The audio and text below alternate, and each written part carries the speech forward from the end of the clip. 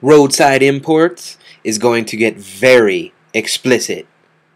Are there any Americans left out there? Do you care about the Constitution and the First Amendment? Well, the big pickle eater Les the a-hole from Benchmade has once again proved that he is unethical and immoral and he just pisses on the First Amendment and our Constitution. Anybody who supports Benchmade and its principles should be ashamed of themselves. Benchmade is a disgrace to America. Roadside Imports filed the DMCA Copyright Act counter notification to YouTube and it will be reviewed in 10 to 14 days. The Better Business Bureau was notified of the unethical and immoral practices of Benchmade Complaint case number 222-08498. The company, Benchmade Knife Company, has made false claims to copyright of my video content on YouTube. I filmed videos and recorded audio. All that is the copyright content belonging to me, JB.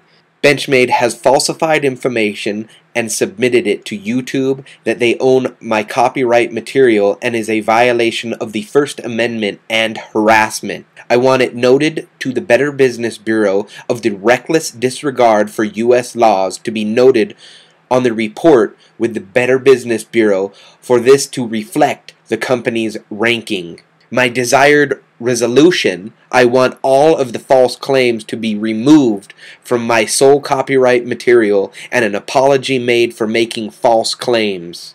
Now get ready. Benchmade responded very quickly, and it's a good laugh. JB's complaint is inappropriate for the Better Business Bureau resolution because his complaint does not involve a consumer to business or business to business transaction that relates to the advertisement or sale of a product or service.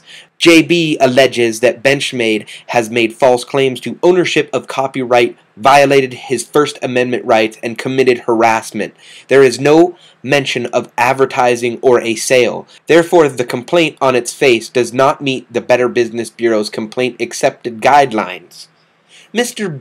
JB and Benchmade have been involved for a better part of a year in a dispute regarding patent and trademark infringement by his company Roadside Imports. JB posted a number of videos on YouTube in connection with this dispute in which he criticized Benchmade and urged a boycott of their products. JB repeatedly used Benchmade's logo consisting of the word Benchmade, incorporating a butterfly design in his videos. This logo is protected by both copyright and trademark laws and Benchmade objects to its unauthorized use. Therefore, Benchmade filed a complaint with YouTube. YouTube responded by removing the videos. Benchmade does not claim any copyrights in JB's words or video content. Alright, it's time for my rebuttal. Well, the Better Business Bureau has a mission statement that Benchmade fails to understand, so let's point this out to them. The mission statement Our mission is to promote and foster the highest ethical relationship between business and public through voluntary self regulation, consumer and business education, and service excellence. Our mission is to be the leader in advancing marketplace trust by creating a community of trustworthy businesses, setting standards for marketplace trust, encouraging and supporting business practice, celebrating marketplace role models, and denouncing substandard marketplace behavior. So now that the objectives are established clearly, by the Better Business Bureau, it is their mission to report unethical business practices and immoral behavior to the public. Now, I want the Better Business Bureau to understand that this issue is being broadcast over the internet to clearly show the public how the Better Business Bureau handles matters and if they simply push this under the rug that it will put a stain on their reputation as well. The matter is serious and Benchmade's immoral and unethical matters should reflect their business record to the public that is the sole purpose of the Better Business Bureau. The statements about Benchmade logo is invalid because I'm not using them against the U.S. trademark laws. If Coke put Pepsi logos in their ads and vice versa to show how the other party is inferior than using the logo to show the consumer what an immoral and unethical business Benchmade is and how they produce items such as the infidel that is inferior to other products on the market is clearly not a violation. The ACLU will be the deciding factor on this because a class action lawsuit is underway because of these matters. But it does need to be reported to the Better Business Bureau because it is their mission statement to report unethical and immoral business practices to the general public, and Benchmade's reputation with the Better Business Bureau should reflect such disgraceful and disgusting practices. Now, of course, everybody loves the legal mumbo jumbo, so I need to slam it right back in the face of Benchmade. Trademark law protects names and logos, including names and logos of brands. Copyright law, on the other hand, protects such things as artwork and songs. Making claims to copyright infringement when speaking about trademark is not a valid claim to copyright.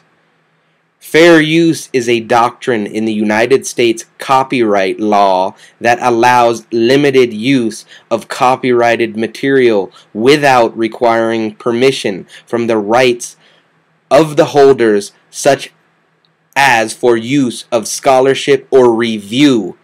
It provides for legal, non-licensed citation or incorporation of copyrighted material in another author's work under a four-factor balancing test.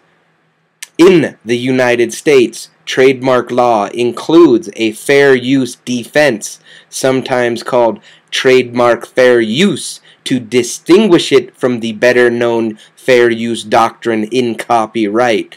As with copyright law, the trademark fair use doctrine is premised in significant part on the First Amendment guarantees of free speech. Fair use is consistent with the more limited protection granted to trademarks generally specific only to the particular product market and geographic area of the trademark owner. This information is extremely important to the Better Business Bureau because of the businesses of this size and reputation should understand the fair use doctrine and knowingly understand that I did not violate anything and the immoral and unethical practice of limiting free speech is disgraceful and disgusting and that the Better Business Bureau should note this on the Benchmade's Better Business Bureau record.